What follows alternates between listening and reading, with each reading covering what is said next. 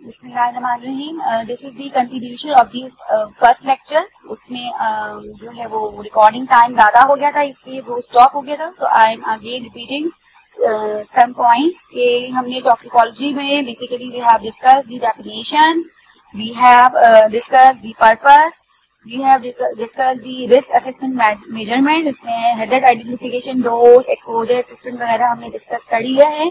और उसमें एरियाज़ हमने डिस्कस किए डोज एंड रेस्पॉन्स हमने डिस्कस किया है रिस्क एंड सेफ्टी डिस्कस किया है and now we were at interaction of the chemicals and जो इंटरेक्शन है वो कौन कौन से टाइप्स हैं, और कौन कौन से केमिकल्स हैं केमिकल्स हम डिस्कस कर चुके हैं, इसमें हम टेरिटोजेंस पे थे Tetrogens basically are those substances which induce non hereditary congenital malformation and increases the incidence and effects on the growing fetus. Growing fetus में जो है वो बेसिकली इसके टेरोटोजेनिक इफेक्ट्स प्रोड्यूस होते हैं। The teratogenic effects may be the cleft palate may be the defective limb may be the brain retardation या may be the neural tube defects तो बहुत सारे हमारे पास जो है वो कंपाउंड्स ऐसे हैं जो कि प्रेगनेंसी कैटेगरीज में नहीं आते। They come under the C pregnancy category C drug pregnancy category D drug इसमें जो अगर हम कैटेगरी वाइज देखें तो जो स्केल जो सिस्टम बनाया गया है, जो क्लासेस बनाई गई है, उसमें ए एंड बी क्लासेस जो है, वो बहुत ज़्यादा सेफ़ है,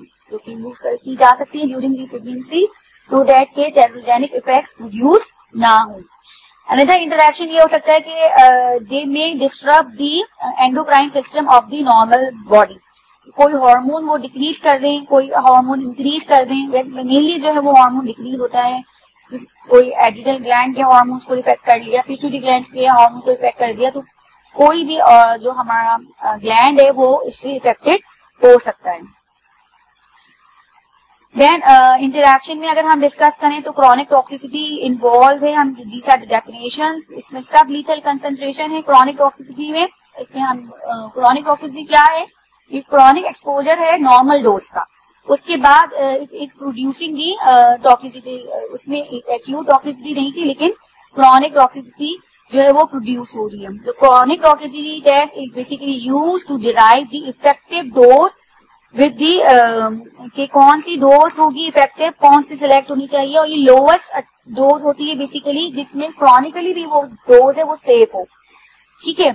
And effect could be anything but that यानी ये होगा कि आखिर में एडवर्स इफ़ेक्ट इतने ज़्यादा बढ़ जाएँगे, इतने ज़्यादा इंटरेक्शन बढ़ जाएँगे, इतनी ज़्यादा टॉक्सिसिटी इंक्रीज जाएगी कि वो फिर डेथ की तरफ़ ले जाएगी। तो ED fifty is obtain by plotting for a given dose of the proportion of the population that's responsive to the dose and all lower doses तो इसके लिए हम ये क्या करेंगे कि ईडी फिफ्टी सेलेक्ट करते हैं, उसमें जो डोजेस होंगी वो लीस्ट वाली ली जाएँगी, जिसपे इफ़ेक्ट आएगा और जो क्रॉनिक टॉक्सिसिटी जहाँ पे आ रही है उसके फिर बिल्कुल लोअर लेवल पे जाकर फिर वो डोज जो है वो सिलेक्ट होगी। अभी हम ग्राफ स्टडी करेंगे, उसमें फिर हमें मजीद समझ में आएगा।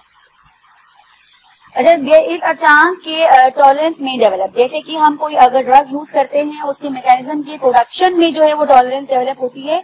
यानी इसी तरह टॉक्सिसिटी के इंडक्शन में भी टॉलरेंस जो है वो रिटर्न में डेवलप हो सकती है टॉलरेंस डेवलप हो सकती है, ठीक है? तो उसमें जो टॉक्सिक इफेक्ट्स हैं वो रिड्यूस हो जाएँगे, ठीक है? तो state of decrease responsive to a toxic effect of a chemical resulting from the previous exposure तो ये एक प्रिवेंटिव एक नेचर का एक मैकेनिज्म है, इसके जिसके ज़रिए बॉडी के अंदर एक टॉलरेंस डेवलप हो जाती है कि अगर उसका पहले एक्सपोजर बहुत ज़्यादा हुआ है फिर वो उस टॉक्सिक कंपाउंड को उस तरह नहीं इफ़ेक्ट प्रोड्यूस करेगा जैसे कि एक नॉर्मल पर्सन इफ़ेक्ट करता है।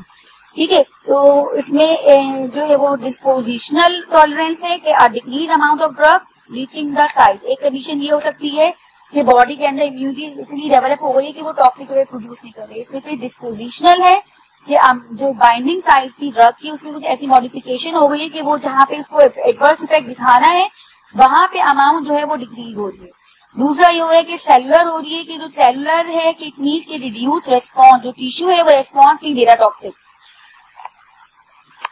सो तो normally there are some for the dose response क्या assumptions है हमारे पास? कि response is due to the chemical administration of the compound कोई भी, हमारे पास रेस्पॉन्स एज सच नहीं आएगा। कोई केमिकल इंजेस्ट हुआ है, कहीं ना कहीं से एक्सपोजर हुआ है तो ही रेस्पॉन्स प्रोड्यूस होगा। ये this is the first assumption then there must be a receptor site with which the chemical interacts कोई ना कोई रिसेप्टर है, कहीं ना कहीं बाइंडिंग टारगेट है, कोई ना कोई ऑर्गन है, कोई ना कोई सेल है, जहाँ पे जाके वो अपना इफ़ेक्ट प्रोड्यूस कर रहा है। The degree of response is also related to the concentration at the site जो भी साइट है, वहाँ पे उसकी एक स्पेसिफिक कंसेंट्रेशन रिक्वायर्ड है उससे कम है। जो एक्यूट या क्रॉनिक ऑक्सीजन सिम्टम प्रोड्यूस नहीं होंगे। The concentration at the site is related to the dose administer और द एक्सपोजर और द ड्यूरेशन और the frequency of the exposure ठीक है, ये तमाम फैक्टर्स इसमें आ रहे हैं। Furthermore it has a quantifiable method of measuring and precise meaning of the expressing the toxicity तो ये एक हमारे पास दो रेस्पॉन्स अजम्पन है। नॉर्मली यही होता है, लेकिन टॉलरेंस जिसे हमने डिस्कस किया कि टॉलरेंस डेवलप हो जाती है। टॉलरेंस में हमारे पास उस डोज से भी जो है वो जो है वो टॉलरेंस डेवलप हो सकती है। ना द नॉर्मल यहाँ पे हम कुछ रेस्पॉन्स के हिसाब से ग्राफ स्टडी करें। This is the normal graph इसमें एक डोज जो है वो इंक्रीज हो रही है। ऑन दी एक्स एक्सेस और वाई एक्सेस पे रेस्पॉन्स इंक्रीज हो रहा है। जैसे जैसे डोज बढ़ाएँगे, वैसे वैसे जो है वो नॉर्मल जो है वो डोज बढ़ रही है। लॉग स्केल बनाया गया है, लेकिन लॉग स्केल भी बनाए, तब भी आप ये देख सकते हैं कि एक अच्छा एक इंक्रीमेंट आपको नज़र आ रहा है कि जैसे जैसे डोज बढ़ाएँगे, वैसे वैसे डोज बढ़ेगा। दिस इज़ नॉर्मल प्रोसेस हमें याद रखें रिमेम्बर कि अभी हमने डिस्कस किया था कि कुछ ड्रग सब्सटेंसेस ऐसे हैं जिसमें हम अगर डोज बढ़ाए तो एट सर्टिन लेवल उसके बाद जो है वो फिर रेस्पॉन्स में इंक्रीज नहीं होगा। So we have to which are no no A L and low L no observable adverse effect level which is NOAEL and um, the threshold it is the threshold where no adverse effects are observed और usually इसमें normal effects भी produce नहीं होते ठीक है and uh, lowest observable uh, observable adverse effects level which is LOL which is LOAEL the concentration level where effects are observed अब अब अगर इस ग्राफ को हम स्टडी करें एक्स एक्सिस में अगर हम देखें ये जो ड्रग है इसकी जो टेन एम की डोज है बेसिकली इट इज़ नो यल यानी इस पे कोई ड्रग का इफ़ेक्ट प्रोड्यूस नहीं हो रहा इसका अपना इफ़ेक्ट भी प्रोड्यूस नहीं हो रहा। बिल्कुल ज़ीरो है। रेस्पॉन्स इज़ ज़ीरो फिर इसके बाद क्या हुआ है कि रेस्पॉन्स इंक्रीज होना शुरू हुआ है। एंड uh, इस वक्त हम टॉक्सिसिटी में अगर हम देखें तो हम टॉक्सिक रेस्पॉन्स मेजर कर रहे हैं। और अगर हम एफिकेसी में देखते हैं तो फिर ये एफिकेसी का रेस्पॉन्स होता है। इसमें दोनों में बातें सही है कि अगर एडवर्स इफ़ेक्ट जो है वो हमें देखना है। तो ये दो लेवल्स हमारे पास आ गए। For example the drug is safe में जो एडवर्स इफ़ेक्ट शुरू हुए हैं, वो टेन से ज़्यादा पे हुए so in this sense we can say कि एनओईएल में कोई एडवर्स इफ़ेक्ट नहीं आ रहे टेन एमजी से। और ट्वेंटी एमजी पे जो है वो लोवेस्ट एडवर्स इफ़ेक्ट आ रहे हैं। उसके बाद आप अगर देखें तो एडवर्स इफ़ेक्ट जो है वो इंक्रीज हो रहे हैं। सॉरी एडवर्स इफ़ेक्ट देखें तो फिर ड्रास्टिकली डोज जो है वो इतनी ज़्यादा इंक्रीज नहीं हो रही, लेकिन एडवर्स इफ़ेक्ट हंड्रेड परसेंट पे जा रहे हैं। इस पर अगर आप गौर करें तो लोएस्ट एडवर्स इफ़ेक्ट जो है वो ऑब्ज़र्व हो रहे हैं ट्वेंटी पर अबाउट ट्वेंटी परसेंट जो है वो एडवर्स इफ़ेक्ट इसमें भी ऑब्ज़र्व हो रहे हैं। तो ईडी e फिफ्टी जो है वो the where adverse sorry ED fifty पे जो है ये यहाँ पे ट्वेंटी एम जी इसमें नज़र आ रही कि twenty M G is the ED fifty basically जिसपे फिफ्टी परसेंट जो है एडवर्स इफ़ेक्ट एक डोज पे प्रोड्यूस हो रहे हैं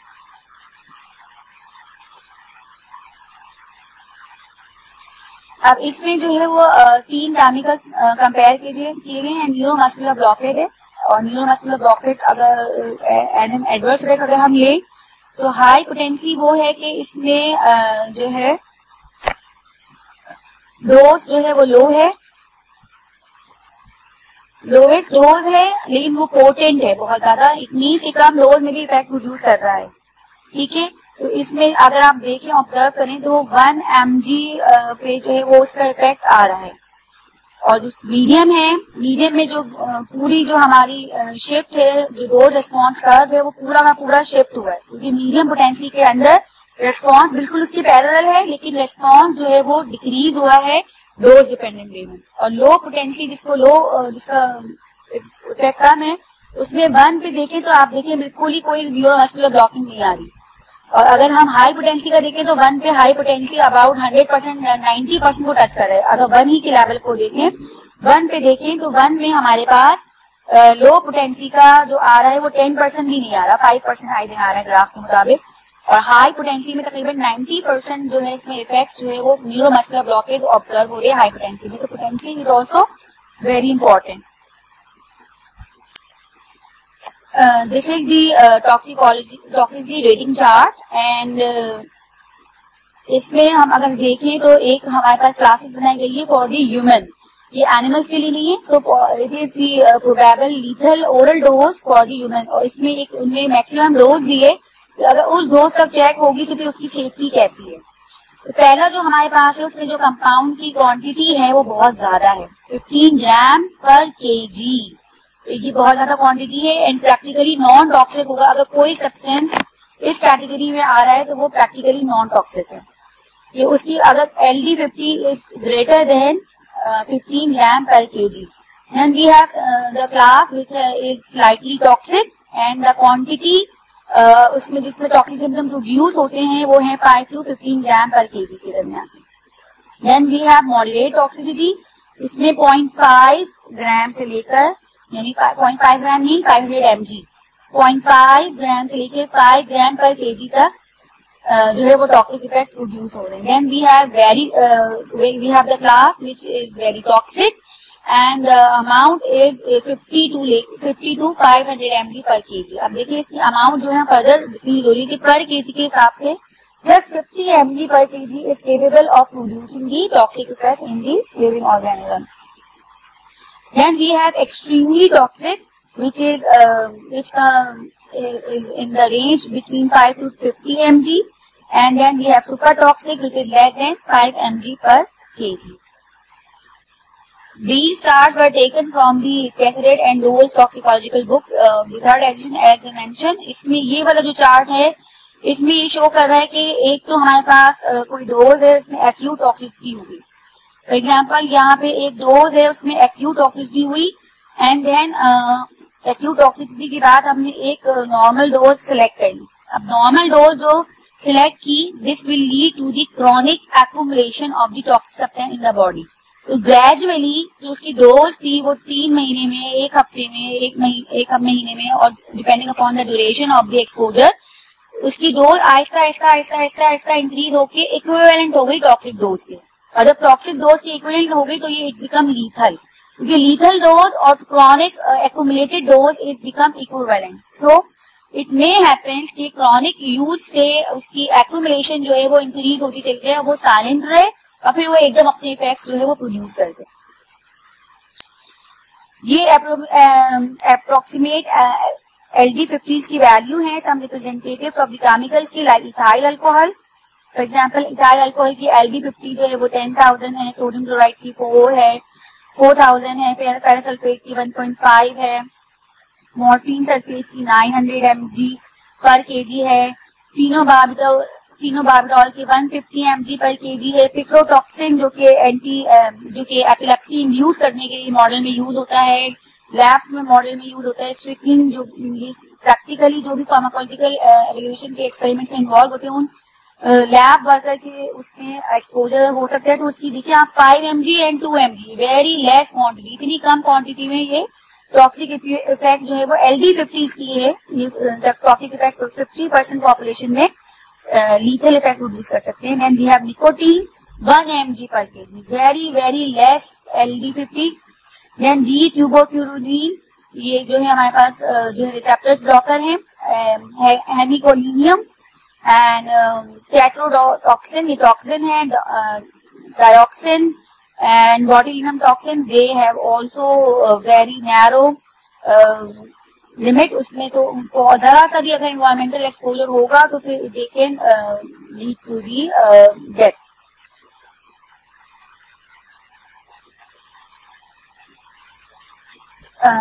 ये एक समराइज दो रेस्पॉन्स कर्व है जिसमें बहुत सारे तीन बेसिकली जो टाइप्स है वो क्यूमुलेट किए गए हैं।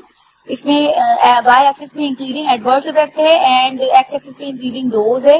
जो पहला हमारे पास ग्राफ है वो है no, threshold toxicant it means कि यहाँ पे अगर हम देखें तो जैसे जैसे डोज बढ़ रही है वैसे वैसे एडवर्स इफ़ेक्ट बढ़ेगा। इसमें कोई लिमिट नहीं है कि वहाँ पे नो एब्जॉर्बेबल इफ़ेक्ट हो।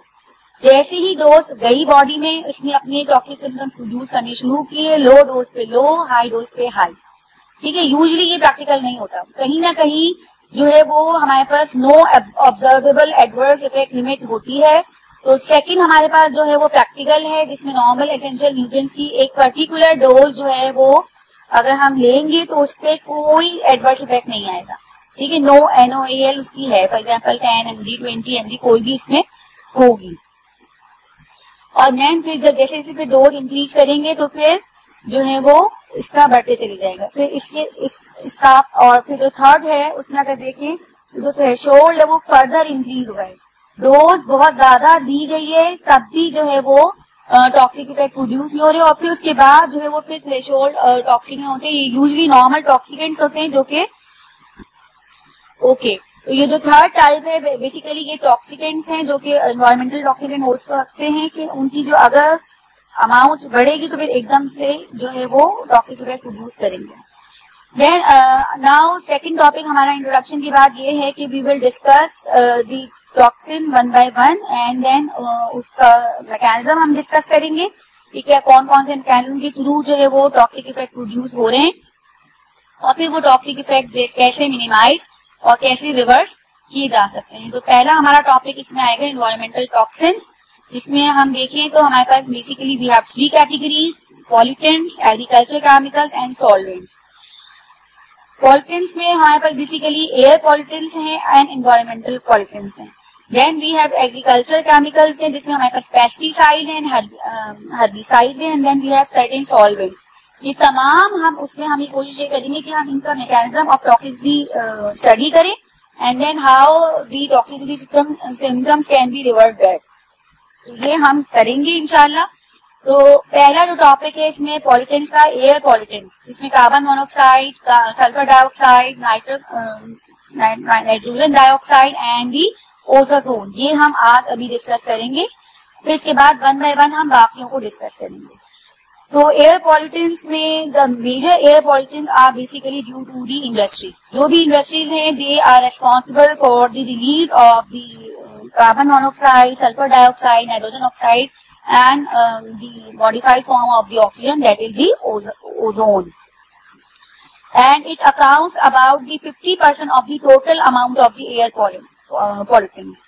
इसमें अगर हम देखें तो 18 परसेंट हमारे पास सल्फ़र के ऑक्साइड्स हैं and hydrocarbon also may be present 50 percent जो है वो कार्बन मोनोक्साइड है and hydrocarbon basically due to the smoke particles and uh, 10% nitrogen oxides हैं and 6% ozone.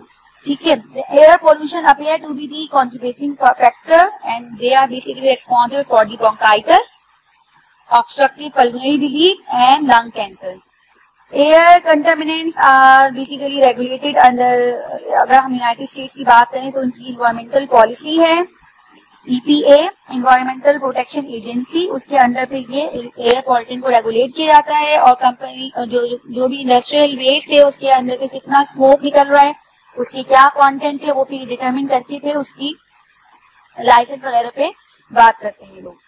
ठीक है? तो कार्बन मोनोक्साइड क्या है? फ़र्स्ट हमारी गैस है, carbon monoxide. Carbon monoxide is an odorless, colorless gas that competes with the oxygen for the hemoglobin. Hemoglobin हमारे पास जो कि हमारे पास बेसिकली रिस्पॉन्सिबल है for the respiration for the delivery of the oxygen and nutrition to the body तो main हमारा जो पिगमेंट है ब्लड का, वो हीमोग्लोबिन है। तो affinity for carbon monoxide of haemoglobin is about 200 fold greater than that of oxygen बहुत ज़्यादा इसकी एफिनिटी ज़्यादा है अगर ऑक्सीजन प्रेजेंट है इन्वायरमेंट में और कार्बन मोनोक्साइड भी प्रेजेंट है तो कार्बन मोनोक्साइड ज़्यादा जाके उससे बाइंड करेगी और उसको फिर कार्बोक्सी हीमोग्लोबिन बना लेगी The limit value of of carbon monoxide for an at 8 hour work day is about 25 parts per million. बहुत ही कम अमाउंट चाहिए कि 25 पार्ट्स पर मिलियन हो और किसी ऐसी जगह पे जहाँ पे धुआँ है और इस तरह के वहाँ पे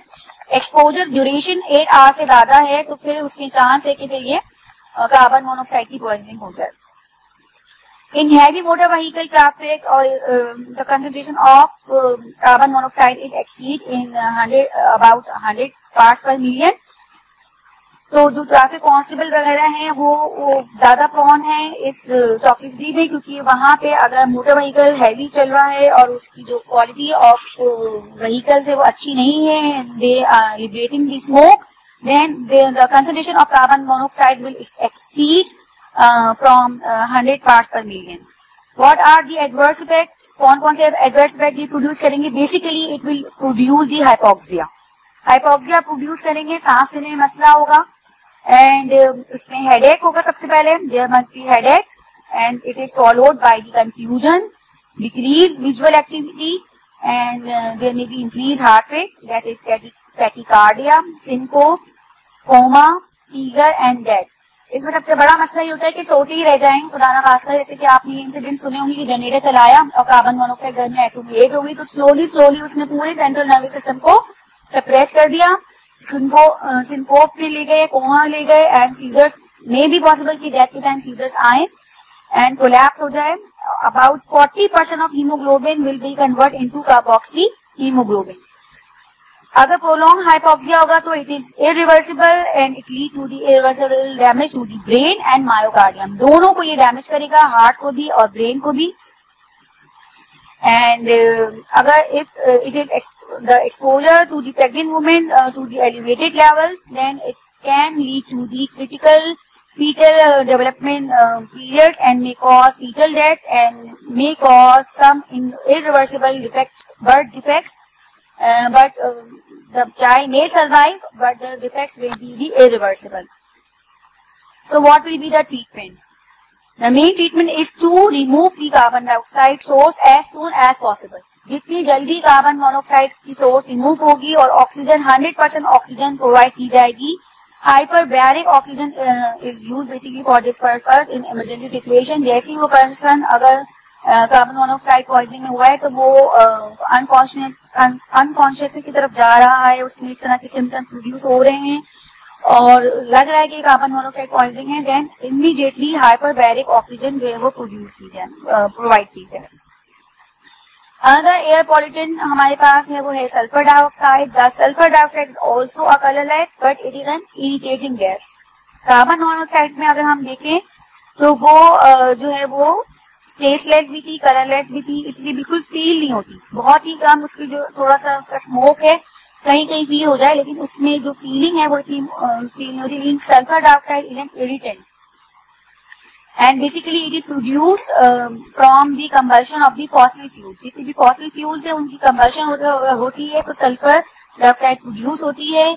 Sulphur oxide produce the sulphurous acid and this sulfuric acid is produced on contact with the moist uh, mucous membrane.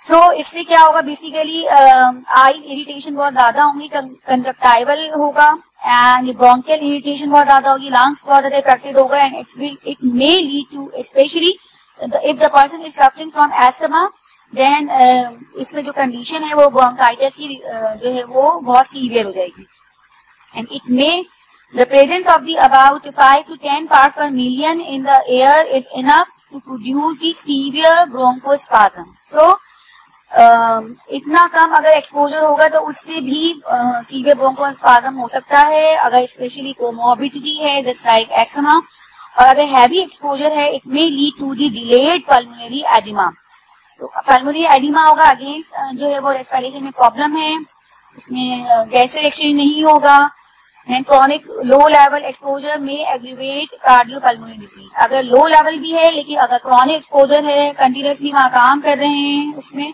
then it will lead to the cardiovascular problem और उसमें कोई अटैक आ सकता है, कोई कार्डियक फेलियर हो सकता है, ठीक है? तो ट्रीटमेंट क्या है? ट्रीटमेंट ये कि जो रिमूवल है from the removal from the exposure to the sulphur dioxide and relieve of the irritation and inflammation इसमें जो है वो एग्जैक्ट ट्रीटमेंट नहीं है. फॉर जो इन्फ्लेमेशन हुई है, जो जो एस्थमा का ट्रीटमेंट है, इसमें वही हम फॉलो करेंगे. Then we have nitrogen oxide nitrogen dioxide is is again एक इरिटेंट गैस है and it is the principal membrane of this group it is form in fire and in silage forms nitric oxide also causes deep lung irritation and pulmonary oedema farm workers basically जो है वो ज़्यादा expose होंगे nitrogen uh, के oxide से. And because वहाँ पे soil है सॉइल के अंदर जो है वो जो कंसेंट्रेशन है वो नाइट्रोजन की वैसे भी ज़्यादा है, वहाँ पे सिलिकॉज है और जो कि डाई भी हो रही रैपिडली और इसमें जो फार्मर्स हैं वो एक्यूट पेलमुलरी एडिमा की वजह से बहुत ज़्यादा उनमें जो है वो हेल्थ डिजास्टर आते हैं। इसमें irritation of eye nose and thought is very common and today the most common source of the human exposure to oxides of nitrogen is the automobile and truck traffic emission जो truck से धुआँ निकल रहा है, उसमें भी अब जो कंसेंट्रेशन है, वो नाइट्रोजन ऑक्साइड की डाइऑक्साइड की स्पेशली बहुत ज़्यादा है। ट्रीटमेंट क्या है? No specific treatment is available and measures to reduce the inflammation and pulmonary oedema just like हमारे पास जो है, हमारे पास एस्टमा की जो ट्रीटमेंट है मोटी लुकास वगैरह उसमें जो है वो लिकोट्राइंस इनिवेटर्स जो है वो यूज़ करेंगे ताकि इसमें जो है वो इन्फ्लेमेशन और पल्मोनरी एडिमा रिड्यूस हो सके then we have ozone. Ozone uh, concentration may high in some cases. और ये कहाँ होगा ozone basically is a bluish irritant gas and produce in the air by water purification devices जितनी भी are plants वगैरह हैं वहाँ पे होगा और इलेक्ट्रिकल फ़ील्ड, जहाँ जहाँ इलेक्ट्रॉनिक आइटम ज़्यादा हैं, वहाँ पे जो है वो ऑक्सीजन जो जो ऑक्सीजन प्रेजेंट है इन्वायरमेंट में फ्री ऑक्सीजन वो कन्वर्ट हो जाएगी ओजोन में। एंड पॉइंट ज़ीरो वन से लेके point one part per million की अगर कंसेंट्रेशन एनवायरमेंट में मौजूद है it may cause irritation dryness of the mucous membrane and pulmonary function may be impair at higher concentration सही है। तो इरिटेशन होगी म्यूकस मेम्ब्रेन की air pollution as the name indicate कि वो स्किन को इफ़ेक्ट करेंगे आई को इफ़ेक्ट करेंगे या लंग्स को इफ़ेक्ट करेंगे। ठीक है? तो इसमें bronchitis pulmonary fibrosis and emphysema जो है वो ओजोन लेयर की वजह से होगा। कहा, कैसे ट्रीटमेंट क्या है? No specific treatment is available जो सिम्टम्स प्रोड्यूस हुई है, उनको जो है वो ट्रीट किया जाएगा। फॉर एग्ज़ाम्पल ब्रोंकाइटिस का जो ट्रीटमेंट है जो पल्मोनरी फिब्रोसिस और इन्फाइसीमा का जो ट्रीटमेंट चलेगा फिर वो चलेगा और जो सोर्स है कोशिश ये की जाएगी कि वो फिर रिमूव कर दी जाए। ठीक है this is all about today's lecture हमारे दो लेक्चर uh, एक तरह से हो गए हैं टॉक्सिकोलॉजी में। अब हम जो करेंगे uh, वो वन बाय वन जो टॉक्सिक कंपाउंड है चाहे वो ड्रग हो जो मोस्ट कॉमन है जो पॉइजन हैं उनको हम डील करेंगे। और फिर उस हिसाब से हम उनका ट्रीटमेंट करेंगे और आखिर में हम कुछ केस स्टडीज़ भी करेंगे इनशाला ताकि हम उसको रिलेट कर सके कि किस तरह से हम जो है वो मैनेजमेंट इसकी करेंगे। ठीक है this is all about today's lecture thank you